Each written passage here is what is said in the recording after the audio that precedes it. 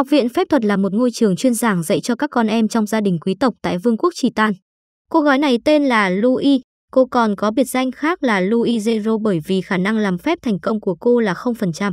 Mỗi khi phép thuật thất bại là Louis lại cho nổ banh cái lớp học. Đầu năm học thứ hai, các học sinh trong trường sẽ phải thực hiện một nghi lễ thiêng liêng đó chính là triệu hồi linh thú của mình. Linh thú vừa là đầy tớ vừa là người bạn gắn bó với mỗi phù thủy. Linh thú được triệu hồi sẽ dựa trên những đặc điểm và tính cách của chủ nhân. Trong khi mọi người ai cũng triệu hồi thành công thì Louis lại quang bom vào hội nghị. May mắn là lần này Louis đã làm phép thành công, nhưng linh thú mà cô gọi đến là một thiếu niên đến từ trái đất tên là Saito. Louis xin thầy giáo cho cô đổi linh thú khác nhưng thầy lại nói mỗi phù thủy chỉ có thể thực hiện phép thuật triệu hồi một lần. Do quy định của nghi lễ nên Louis bắt buộc phải chấp nhận Saito làm linh thú của mình nếu không thì cô ấy sẽ bị nhà trường đuổi học. Hai người thực hiện giao kết giữa chủ nhân và linh thú bằng một nụ hôn. Saito méo hiểu vì sao mình bị triệu hồi đến thế giới này, hơn nữa lại trở thành linh thú mỗi ngày phải nấu cơm giặt quần áo. sai to mà dám thái độ thì chủ nhân Louis sẽ cho cậu bay màu. sai to đang ở trên lãnh thổ của Vương quốc Trì Tan ở nơi này địa vị của con người trong xã hội được chia làm hai loại. Những người có thể sử dụng phép thuật là giới quý tộc thượng lưu, còn những người ở đáy xã hội không thể làm phép sẽ bị xem là thường dân. Vì không muốn làm kiếp đầy tớ nên sai to đã bỏ trốn. Thế nhưng việc này gần như bất khả thi bởi tất cả học sinh trong trường đều có thể sử dụng phép thuật để bắt cậu lại. Sau đó Saito bị đeo dây chuyền thú vật vào cổ, công việc hàng ngày của cậu chính là giặt quần áo cho Louis nếu dám thái độ thì sẽ bị ăn đòn. Ngay cả pansu của chủ nhân cũng phải giặt thật sạch. Trong khi chủ nhân được ngủ trên giường chân ấm đệm êm thì Saito phải nằm ở dưới sàn nhà như con cờ ho. Nếu ngày nào Saito không làm đúng theo những gì mà Louis yêu cầu thì ngày đó cô ấy sẽ không cho Saito ăn sáng. Louis cảm thấy những ngày gần đây Saito đã phục vụ mình khá tốt nên cô ấy đã dẫn Saito đến nhà ăn của trường để dùng bữa. Tuy nhiên trong trường có quy tắc thường dân không thể ngồi ăn chung với quý tộc nên Sai To chỉ có thể ngồi dưới đất gặm bánh mì. Trong học viện phép thuật vẫn có một người đối xử tốt với Sai To là hầu gái Siesta bởi vì cả hai đều mang thân phận thường dân. Sai To chợt nhìn thấy thanh niên đầu vàng Gui trời đã từng bắt mình. Cậu liền tiết lộ sự thật Gui Che đang bắt cá hai tay với cả hai người con gái cùng một lúc làm cho hắn ta bị bạn gái chia tay đòi quà. Gui Che cay cú liền thách đấu với Sai To solo 1-1. Thế nhưng sau đó Gui Che lại chơi bẩn, hắn đã triệu hồi một con hộ vệ tấn công bất ngờ khiến Sai To không kịp trở tay. Mặc dù nằm kèo dưới nhưng Sai To vẫn không chịu thua và đây là một trận thách đấu tay đôi nên không ai có quyền được xen vào. Cui Che thấy thực lực của Sai To quá yếu liền ném cho cậu một thanh kiếm để tiếp tục ào nhây. Nào ngờ hành động này đã vô tình khiến Sai To thức tỉnh sức mạnh nhân vật chính, một pha tự bóp của thanh niên đầu vàng. Mặc dù giành được chiến thắng nhưng Sai To cũng đã kiệt sức. Sai To bất tỉnh suốt 3 ngày liền, trong thời gian đó Louis đã thức đêm không ngủ ở bên cạnh để chăm sóc cho cậu ấy. Thế nhưng sau khi hồi phục Saito vẫn phải giặt pan dự cho chủ nhân, nếu lỡ soi pan su hơi lâu thì cậu sẽ bị Louis véo tai. Saito cũng được học viện cho phép lên lớp cùng với Louis trong khi người khác học bài thì cậu lại soi váy của em gái ngồi bàn dưới. Lúc này Saito mới biết chủ nhân có biệt danh Louis Zero là vì cô ấy không có nguyên tố phép thuật và cũng không thể làm phép.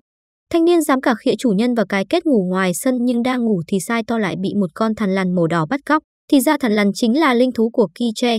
Em hot girl trong lớp thấy Sai To đẹp dai nên đã bắt cậu về phòng để thịt luộc. Sai To đúng là thanh niên số hưởng nhưng cậu còn chưa kịp nướng củ khoai thì đã bị chủ nhân bắt quả tang.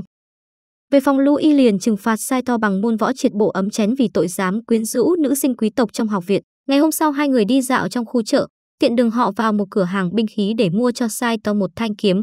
Saito đã chọn được một thanh kiếm rất ngon, tuy nhiên giá của nó quá cao lên đến 3.000 vàng.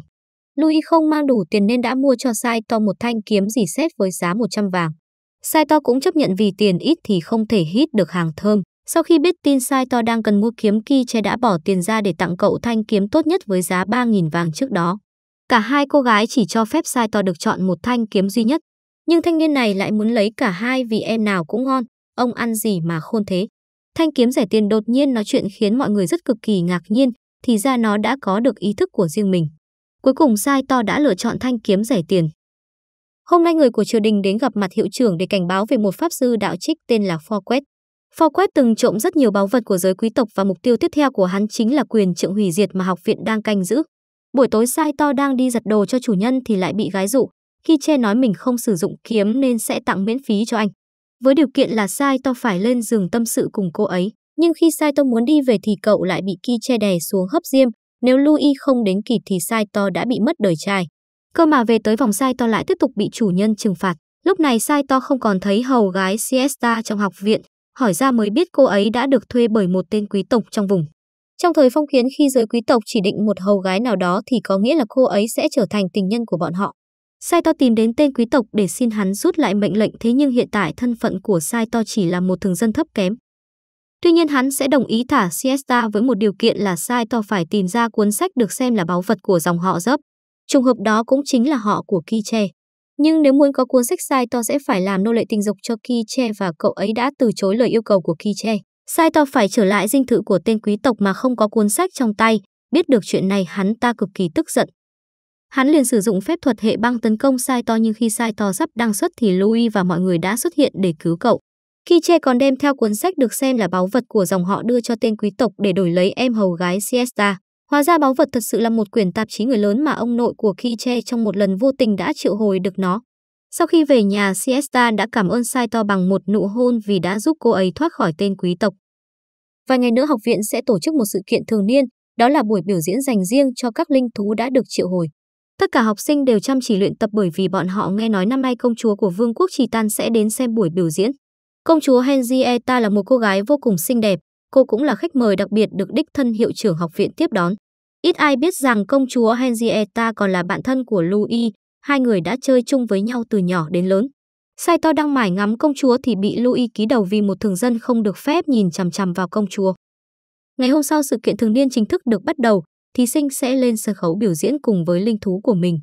Lúc này ở một nơi khác trong học viện có một người phụ nữ lạ mặt đã sử dụng phép thuật thổ hệ để triệu hồi một con quái vật khổng lồ. Quái vật lập tức tấn công, hai người đứng gần nó nhất là Saito và Louis. Vì xả thân cứu Louis nên Saito đã bị con quái vật bắt giữ. Người phụ nữ kia chính là pháp sư đạo trích Forquet. Sau khi xong việc, cô ta nhanh chóng bỏ lại Saito để trốn thoát. Forquet đã thành công trộm đi báu vật mà học viện phép thuật đang canh giữ chính là cây quyền trượng hủy diệt. Louis xin lỗi bản thân vì đã để mất quyền trượng, công chúa cũng phải trở về hoàng cung để kể lại toàn bộ sự việc đã xảy ra. Những ngày tiếp theo, Louis thường xuyên phải ăn cơm chó vì lúc nào Kiche cũng tìm cách để quyến rũ Saito ngay trước mặt cô. Hiệu trưởng bất ngờ triệu tập nhóm người Saito trong đó có cả em nữ sinh đeo kính tên là Charlotte đã từng cứu Saito. Theo như lời kể của những người có mặt ở hiện trường vào ngày xảy ra vụ đột nhập hiệu trưởng đã phát họa lại hình dáng của Forquet. Ông hỏi các giáo viên trong trường có ai tình nguyện chiến đấu với Forquet để giành lại quyền trượng nhưng không có ai giơ tay. Cuối cùng chỉ có ba cô gái tự nguyện xin được lên đường. Saito là linh thú của Louis nên cậu cũng phải đi theo mọi người. Trên đường hai em gái liên tục cãi nhau vì củ khoai 20cm của Sai To. Thế này thì tình chị em có chắc bền lâu. Rất nhanh mọi người đã đến được căn cứ của Forquet. Charles còn tìm thấy quyền trượng khi đối phương không có ở nhà. Nhưng đúng lúc này con quái vật khổng lồ lại xuất hiện.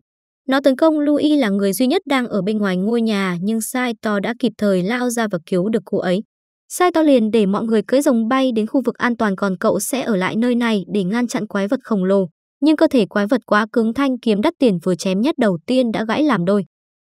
Saito liền sử dụng thanh kiếm rẻ tiền, mặc dù sát thương của nó rất lớn nhưng quái vật khổng lồ lại có khả năng tái sinh.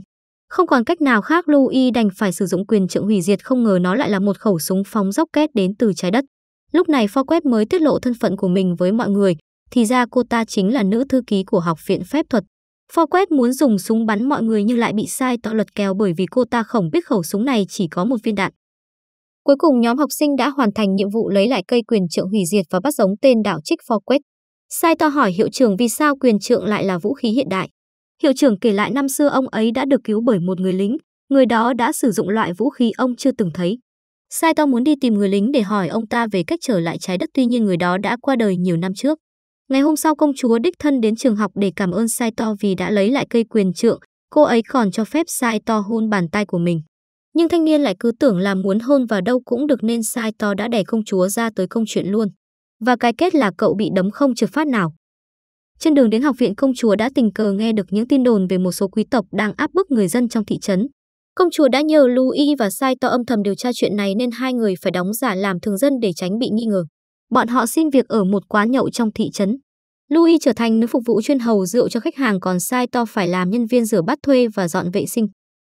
Là con gái của một gia đình quý tộc, nhưng hiện tại Louis phải nhịn nhục để hoàn thành nhiệm vụ mà công chúa đã giao cho cô. Đến khi nào không chịu được nữa thì Louis sẽ nhảy lên bàn để đấm nhau với khách luôn. Saito khuyên Louis phải thật bình tĩnh bởi nếu cô cứ tiếp tục đấm khách như vậy thì làm sao có thể điều tra đám quý tộc được. Nhưng tính cách bạo lực của Louis không thể thay đổi vẫn chứng nào tật nấy, tên nào dám thò tay hái đào đều bị cô ấy táng vỡ alo. Bản thân thì làm việc vất vả nhưng cái tên người hầu lại dám đứng tán gái, Louis cay cú liền đáp chai rượu vào đầu của Saito. Thấy thanh niên bị ngất em nhân viên liền mang Saito về phòng để chăm sóc nhân tiện kiểm tra củ khoai 20cm của cậu. Nhưng Saito còn chưa kịp hút thì đã bị Louis phá đám. Lúc này có một đám người đến từ triều đình tiến vào quán rượu. Cầm đầu là một tên quan thu thuế, hắn ta rất tham lam và luôn tìm cách moi thêm tiền thuế của dân nghèo trong thị trấn. Tên quan muốn hái đào của Louis nhưng rất nhanh đã bị cô ấy tung một cước vào móng đá sấp mặt lực. Quan thu thuế tức giận sai thuộc hạ đập phá quán rượu nhưng tất cả bọn chúng đều không phải là đối thủ của một pháp sư. Lúc này Louis mới tiết lộ thân phận mình đang làm việc cho công chúa, những kẻ quý tộc đàn áp dân thường lập tức bị bắt. Trong thời gian đó ở ngục giam của Học viện Phép thuật đạo trích Forquet đã được cứu bởi một kẻ lạ mặt. Ngày hôm sau khi Che và Charles ngồi xe ngựa đi tới nhà của Charles bởi vì cô ấy đã lâu chưa về thăm nhà. Gia đình của Charles sống trong một dinh thự rộng lớn, bản thân cô ấy cũng là người mang dòng máu hoàng tộc. Phụ thân của Charles đã từng là ứng cử viên cho ngai vàng, tuy nhiên ông ấy lại bị ám sát bởi một trong những đối thủ của mình. Sau đó Charles lại trở thành mục tiêu tiếp theo bị ám sát, vì cứu con gái nên mẹ của Charles đã uống thuốc độc thay cô ấy. Đó là một loại độc tố khi đưa vào trong cơ thể sẽ gây tổn thương thần kinh não bộ khiến cho nạn nhân mắc bệnh tâm thần. Khi charles lớn lên triều đình lại tiếp tục lợi dụng năng lực của cô để hoàn thành những nhiệm vụ với độ khó gần như bất khả thi. Dù phải đối mặt với những nguy hiểm luôn rình rập nhưng bằng một cách thần kỳ nào đó charles vẫn có thể sống sót. Vương quốc Chitan muốn liên minh với các nước láng giềng nên hội đồng đã ép công chúa phải kết hôn vì mục đích chính trị.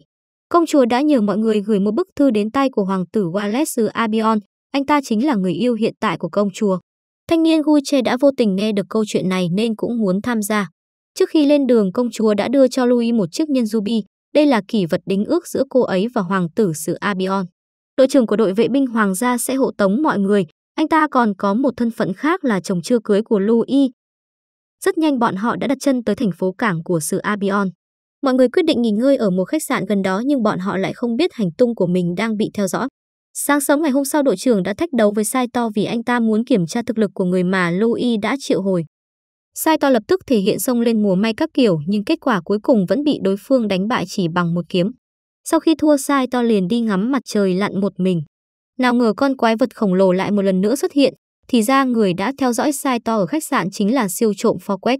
Ford định úp sọt Sai To để trả thù thế nhưng sau đó Sai To lại gọi cả team tới làm cô ta không ăn được đành phải rút lui. Đến khi Saito quay trở về khách sạn thì ông chủ lại thông báo với cậu rằng đội trưởng và Louis đã thanh toán tiền thuê phòng.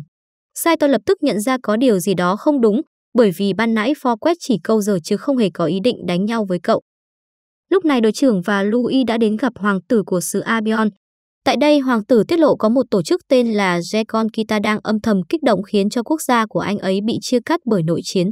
Sau khi ra ngoài Louis bất ngờ bị đội trưởng khống chế, thì ra hắn chính là một thành viên của tổ chức Zekon Kita. Đội trưởng ép Louis phải kết hôn với mình. Louis không thể phản kháng vì cô ấy đang bị điều khiển bởi phép thuật của kẻ thù.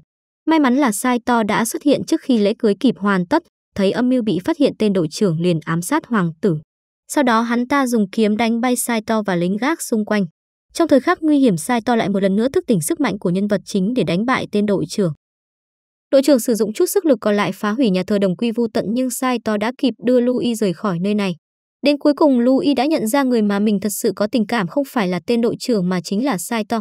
Louis về nước trao lại chiếc nhẫn kỳ vật cho công chúa, cuộc hôn nhân chính trị cũng bị hủy bỏ vì âm mưu của kẻ thù đã bại lộ. Trong một lần tâm sự với hầu gái Siesta, Saito tình cờ biết được ông nội của cô ấy cũng là một người đến từ thế giới khác. Nghe đồn ông ấy đã từng cưỡi một con rồng sắt được xem là báu vật của gia tộc nhưng Sesta lại chưa từng nhìn thấy nó bao giờ. Đám bạn vô tình nghe được chuyện này nên cũng muốn nhập bọn với Saito và Siesta cùng tìm con rồng sắt trong truyền thuyết. Trên đường mọi người lại bắt gặp thầy giáo và Louis đang làm nhiệm vụ vậy nên bọn họ đã quyết định sẽ đi chung với nhau. Thì ra con rồng sắt mà mọi người nhìn thấy chính là một chiếc máy bay. Siesta kể lại ông nội của cô ấy đã đến thế giới này trong thời điểm xảy ra nhật thực. Rất có thể nhật thực chính là manh mối giúp Sai To tìm ra con đường trở về trái đất. Từng có một giả thuyết cho rằng hiện tượng nhật thực sẽ mở ra cánh cổng kết nối trái đất với những vũ trụ song song. Sai To đã mang theo chiếc máy bay trở lại học viện, cậu còn nhờ ông thầy đầu hói trong học viện pha chế nhiên liệu máy bay. Theo tính toán thì sau 3 ngày nữa thế giới này sẽ xuất hiện nhật thực nhưng đúng lúc này thì học viện lại nhận được một tin xấu. Sư Abion đã bị kiểm soát bởi tổ chức Zekon Kita bọn chúng đã tuyên bố chiến tranh với vương quốc Trì Tan. Saito nói với Louis trong 3 ngày nữa sẽ có nhật thực nếu như mọi việc đúng như tính toán thì cậu sẽ rời khỏi thế giới này. Louis dù không nỡ nhưng cũng không thể cản Sai To trở về nhà vậy nên cô đã để lại một bức thư chia tay cho Sai To. Sau đó Louis gia nhập quân đội cùng công chúa chiến đấu vì Tổ quốc. Khi biết được tin này, Sai To lập tức lái máy bay đến chiến trường. Lúc này trận chiến đang diễn ra vô cùng ác liệt, phụ nữ và trẻ em phải trốn vào một khu rừng gần đó để lánh nạn. Sai To xuất hiện đúng thời điểm hai phe đang giao chiến với nhau, cậu nhanh chóng cho kẻ địch ăn kẹo đồng. Với thứ vũ khí hiện đại đến từ một nền văn minh khác, Sai To đã thành công quét sạch đám người của tổ chức Zekon Kita. Mang máy bay đến thời cổ đại thì vô đối mẹ rồi. Forquest và quái vật của cô ta xuất hiện trên chiến trường. Nhưng cô ta còn chưa kịp tấn công thì đã bị mọi người phối hợp với nhau thiêu đốt con quái vật bằng dầu hỏa. Tên đội trưởng lại xuất hiện tấn công máy bay của Sai To, nhưng âm mưu của hắn không thành công vì Louis đã thức tỉnh nguyên tố vô. Nguyên tố phép thuật huyền bí nhất của thế giới này. Cuối cùng kẻ chủ mưu kích động chiến tranh đã bị mọi người bắt sống. Máy bay của Saito đã bị hỏng nên cậu tạm thời sẽ không thể trở về trái đất. Sau khi biết được chuyện này, Louis rất vui. Từ thân phận linh thú chỉ có thể nằm ngủ dưới sàn nhà thì đến bây giờ cậu đã được Louis cho phép ngủ trên giường cùng với chủ nhân. Ngày hôm sau, Louis đã tặng cho Saito một cặp kính đặc biệt. Mỗi khi Saito tia gái mà không phải Louis thì viên ngọc màu đỏ trên cái kính sẽ sáng lên.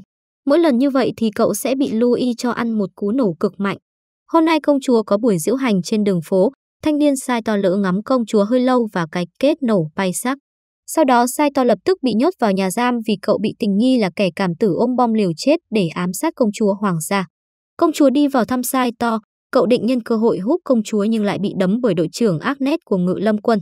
Công chúa tiết lộ mặc dù vương quốc đã giành thắng lợi trong chiến tranh nhưng tổ chức Zekonkita vẫn chưa từ bỏ ý đồ. Bởi vì vài ngày trước kẻ chủ mưu từng kích động chiến tranh giữa Chitan và Abion đã bị ám sát để bịt đầu mối. Ngày hôm sau đội trưởng Agnes đến thông báo tin xấu với Saito và Louis rằng công chúa đã bị mất tích vào buổi tối hôm qua. Saito và Louis lập tức lái máy bay truy tìm tung tích của công chúa. Không ngờ kẻ đã bắt cóc công chúa lại chính là hoàng tử Wallace của sự Abion, người yêu cũ đã chết của công chúa. Saito nhanh chóng tìm được hai người và đáp máy bay xuống. Hoàng tử Wallace thật sự đã chết, hoàng tử hiện tại chỉ là một cái xác được tổ chức Zekon Kita hồi sinh bằng tà thuật. Charles lập tức triệu hồi phép thuật hệ băng tấn công hoàng tử nhưng lại không có tác dụng vì anh ta đã trở thành xác sống. Hơn nữa hoàng tử vẫn giữ được toàn bộ thực lực của mình khi còn sống. Cuối cùng mọi người phải triệu hồi phép thuật hệ lôi mới có thể tiêu diệt anh ta. Công chúa cũng chấp nhận sự thật người yêu của mình đã không còn nữa. Ngày hôm nay học viện phép thuật chào đón một tân sinh mới là Dulio, cậu ta là học sinh mới chuyển đến từ Romali. Vẻ đẹp trai của Dulio đã thu hút rất nhiều nữ sinh trong trường, nghe nói cậu ta còn là một tư tế nên không phải lên đường nhập ngũ. Hiện tại quốc gia đang ở trong tình trạng chiến tranh nên mọi người phải tạm gác lại việc học để hoàn thành huấn luyện quân sự. Những nam sinh đã nhập ngũ trong trường chỉ còn lại nữ sinh, với thân phận linh thú của mình Sai To không cần tham gia chiến tranh. Nhưng thấy Sai To cứ ngồi yên không làm gì cả một nữ chiến sĩ của ngự lâm quân thấy rất ngứa mắt nên sau đó cô ấy đã ép Sai To phải luyện kiếm với mình. Dulio đột nhiên tìm đến Saito để thách đấu cậu trong một trận đấu tay đôi, người nào thắng sẽ có được nụ hôn của Louis. Saito không muốn nhìn thấy cảnh Louis hôn thằng khác nên cậu đã đi tìm đội trưởng Agnes của Ngự Lâm Quân để học cách sử dụng kiếm. Đường kiếm của Agnes rất nhanh nên Saito liên tục ăn hành nhưng một thời gian sau cậu đã dần nắm được cách ra đòn của đối phương. Cuối cùng Saito đã tận dụng cơ hội thành công lật kèo. Ngày hôm sau học sinh trong trường đều đến xem trận đấu. Saito có chút mệt mỏi vì cậu đã luyện kiếm suốt một buổi tối. Trận đấu bắt đầu cả hai cầm kiếm lao và đối phương khá là cân kèo nhưng rất nhanh đã có một thanh kiếm bị đánh bay lên trời. Người chiến thắng chung cuộc chính là Saito. Nhưng Saito lại không cảm thấy vui vẻ một chút nào bởi vì ban nãy tên Dulio đã cố tình thua để nhường chiến thắng cho cậu. Dulio tiết lộ mình không phải là kẻ thù của mọi người bởi vì anh ta đang bí mật hoạt động theo mệnh lệnh của công chúa. Có những kẻ nấp trong bóng tối đang âm thầm hủy hoại quốc gia này và mục tiêu của công chúa là tìm ra danh tính của bọn chúng. Ngày hôm sau, Louis bị bà chị gái tóc vàng tên là Eleanor gọi vào nhà vì đã lâu rồi cô ấy chưa từng trở về để thăm cha mẹ. Gia đình của Louis sống trong một khu biệt thự rộng lớn dành cho quý tộc. Louis còn có một người chị nữa tên là Kat. Sau đó mọi người bắt đầu ngồi vào bàn để dùng bữa. Trong khi chủ nhân đang ăn cơm thì linh thú như Sai To phải đứng chầu trực. Buổi tối Sai To đi tìm phòng ngủ của Louis để tâm sự. Cơ mà không biết thế nào Sai To lại chui nhầm vào phòng của Eleanor, Đúng lúc em này đang ngủ mơ liền ôm cậu kéo lên giường luôn. Dù sao cũng đã lỡ rồi muốn tán cô em thì phải mờ lem cô chị. Theo như luật lệ của giới quý tộc thì Louis đã đến tuổi lấy chồng nên cha cô muốn gả cô cho một quý tộc giàu có ở trong vùng. Bà mẹ nhanh chóng nhận ra những biểu hiện kỳ lạ của con gái từ lúc trở về nhà nên cũng đoán được Louis đã thích người khác. Chỉ có Cát mới là người duy nhất biết em gái mình thích sai to vậy nên cô ấy đã vạch ra một kế hoạch để giúp hai người bỏ trốn. Cát đã chuẩn bị sẵn một chiếc thuyền nhỏ cho bọn họ, Lúc này Saito và Louis mới thú nhận tình cảm của mình dành cho đối phương. Hai người lập tức trao cho nhau một nụ hôn. Saito quyết định thịt luộc em người yêu ở trên thuyền luôn cho nóng. Mà thế méo nào cái thuyền nó lại tự giạt vào bờ hơn nữa còn đậu ngay trước mặt cha mẹ của Louis nữa mới ảo ma China. Cả hai còn chưa kịp hút thì đã phải ôm nhau chạy trốn. Trong lúc nguy cấp có một người đã giúp bọn họ tẩu thoát thành công, người đó chính là Cát cô chị cả tốt bụng của Louis. Ngày hôm sau, Eleno lại đến học viện phép thuật tìm em gái nhưng mục đích không phải là để bắt Louis trở về nhà mà cô ấy đang bí mật làm việc theo mệnh lệnh của công chúa. Buổi tối cùng ngày có một kẻ nào đó đã đột nhập vào văn phòng của hiệu trưởng để trộm đồ nhân lúc ông ấy đi vắng. Thủ phạm đã đánh cắp hai chiếc nhẫn phép thuật nhưng hiệu trưởng lại nói rằng đó chỉ là đồ giả được mô phỏng lại mà thôi. Một người lạ sẽ không thể biết được lúc nào hiệu trưởng đi vắng. Hơn nữa thủ phạm còn hiểu rất rõ về kết cấu của học viện điều này chứng minh trong mọi người có kẻ phản bội. Thủ phạm sử dụng phép thuật hệ thổ nên đội trưởng Agnes lập tức cho người điều tra toàn bộ học viên sở hữu thổ thuộc tính. Nghe nói trước khi chạy trốn thủ phạm đã bị hiệu trưởng tấn công vào ngực vậy nên người nào có vết thương ở vùng ngực sẽ là kẻ bị tình nghi số 1. Saito liền nhân cơ hội soi véo, à nhầm kiểm tra ngực của Eleno nhưng không thấy vết thương nào cả. Lúc này mọi người nghe thấy tiếng ồn ở trong phòng của Cát liền lập tức chạy tới. Thì ra có một nữ binh sĩ của đội ngự lâm quân đã tìm được hai chiếc nhẫn pha kẻ ở trong phòng ngủ của Cát. Nhưng Eleno lại thu thập được một sợi tóc của thủ phạm tại hiện trường không ngờ sợi tóc đó lại là của nữ binh sĩ kia. Thì ra ngay từ đầu hiệu trưởng đã nói dối để dụ tên thủ phạm lộ mặt, hai chiếc nhẫn bị trộm là hàng thật 100%. Sau đó thủ phạm chắc chắn sẽ tìm cách đổ tội cho người khác nhưng đến cuối cùng chính cô ta lại ăn một cú lừa cực mạnh. Nữ binh sĩ lập tức bị bắt giữ và đưa vào phòng thẩm vấn. Cha của cô ta từng là cố vấn trong ủy ban pháp luật nhưng ông ấy lại bị bắt giam vì cáo buộc là chủ mưu trong một vụ tham nhũng. Vào thời khắc đen tối nhất có một người đã cứu rỗi cuộc đời của cô ta, người đó chính là Bộ trưởng Bộ Tư pháp đương nhiệm Liman. Từ đó nữ binh sĩ đã thề sẽ trung thành với Liman.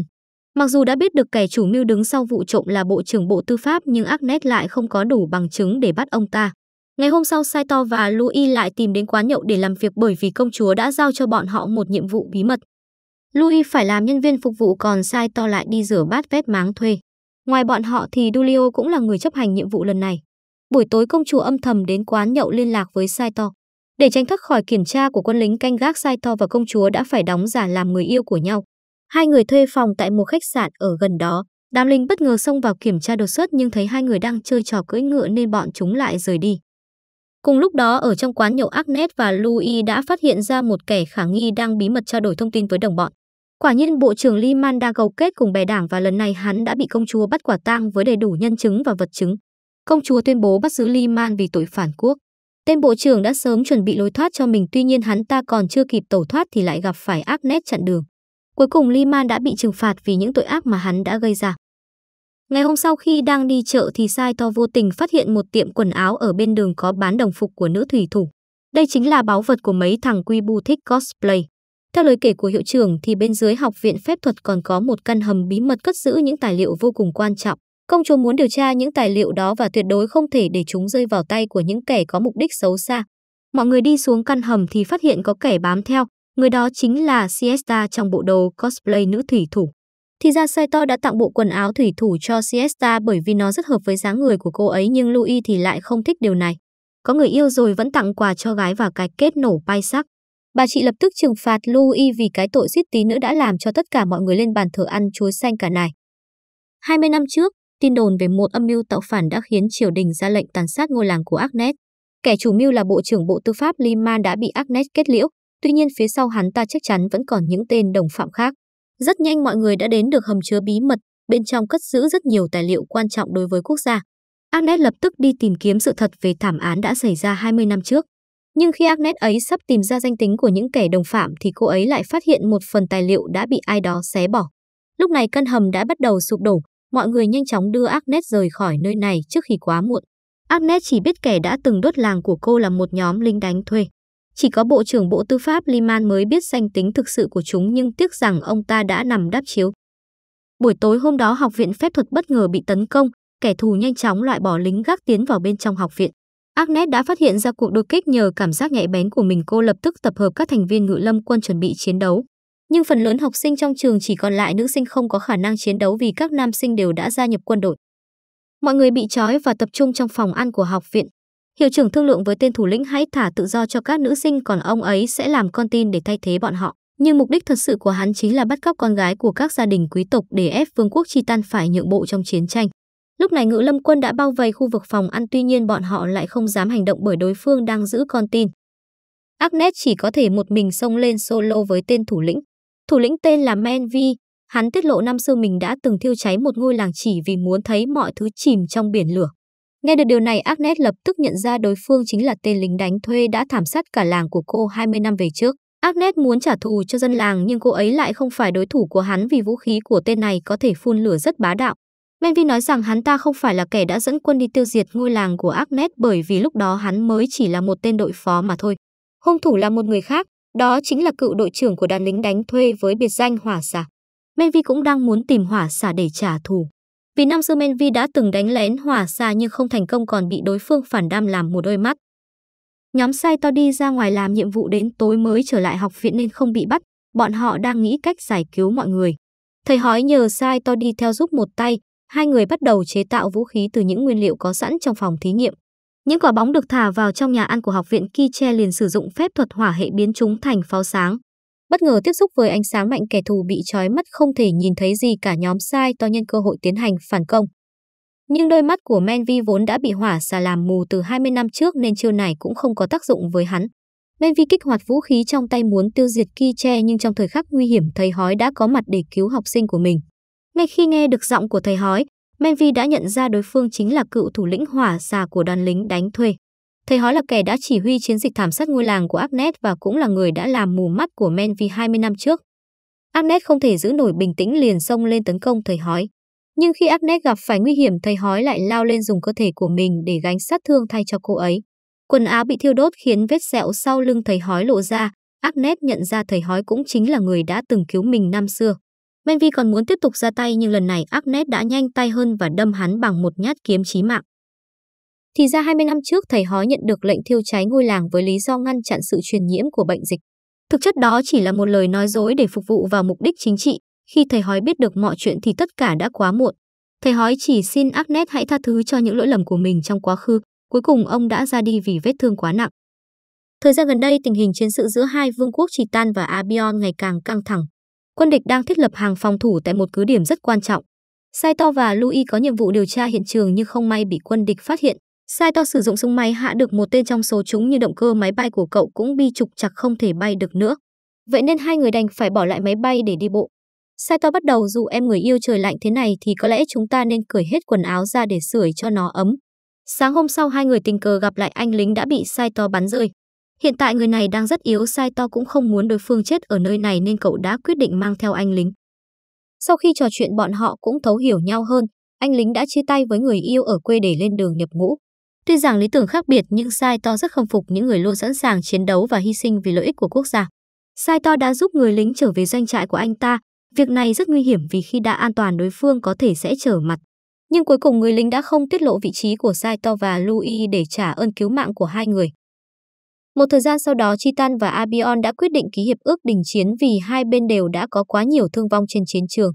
Saito đang đi dạo trong thủ đô của Abion thì lại bất ngờ gặp được những người bạn cũ ở nơi đất khách quê người. Vậy là mọi người liền tụ tập cùng nhau ăn nhậu. Lúc này tại khách sạn Thanh Kiếm sắt vụn đang dùng mưu hèn kế bẩn để dụ Louis chiếm lấy đời trai của thanh niên Saito. Tối đó Louis đã cosplay thành bé mèo nào ngờ Saito lại rủ cả đám bạn về khách sạn của mình để nhậu tiếp mới đau chứ. Thấy Saito thích cosplay nên Siesta cũng bắt chước hóa trang thành bé thỏ để gạ gẫm cậu và cái kết bổ mắt cho thanh niên. Ở bên ngoài các binh sĩ của Abion đang uống nước giếng để giải khát nhưng sau đó tất cả những người này đều phát điên và bắt đầu tấn công quân lính của vương quốc Tritan. Binh lính của hai vương quốc đã gây ra một cuộc xung đột vũ trang, kẻ thù đã yểm một loại tà thuật lên nguồn nước của thị trấn. Rất có thể công chúa mới là mục tiêu của bọn chúng. Nếu như công chúa gặp nguy hiểm thì Louis sẽ sử dụng nguyên tố vô để cứu bạn thân dù cho cô có phải mạo hiểm cả sinh mạng. Saito biết mình không thể ngăn cản được quyết định của Louis nên cậu đã tổ chức lễ cưới đơn sơ chỉ dành cho hai người. Nhưng Saito đã sớm bỏ thuốc mê vào trong rượu. Saito không muốn Louis gặp phải nguy hiểm nên cậu đã lựa chọn ở lại ngăn cản quân địch kéo dài thời gian để mọi người có cơ hội tàu thoát. Khi Louis tỉnh lại và biết được tất cả mọi chuyện thì tàu cứu hộ đã đưa cô ấy và mọi người rời khỏi thủ đô của Abion. Lúc này, ở trên chiến trường Saito đang một mình solo với hơn 70.000 quân lính của Abion. Dù sai to đã cố gắng chống đỡ bằng tất cả sức mạnh của mình nhưng vết thương trên người cậu vẫn xuất hiện ngày càng nhiều. Louis ở trên thuyền chỉ biết la hét trong tuyệt vọng. Cuối cùng Saito đã nằm xuống trước sức mạnh quá lớn của quân thủ. Bộ phim đến đây là kết, từ từ đã nào anh em tôi chỉ đùa thôi. Kết phim Saito vẫn còn sống và đã trở về quê nhà để đoàn tụ với con vợ của mình. Thì ra trong lúc sinh mạng hấp hối Saito đã được một nữ tinh linh bí ẩn trong khu rừng cứu mạng. Bây giờ thì mới hết phim này, mọi người nhớ like và đăng ký kênh Gấu giảm nhé.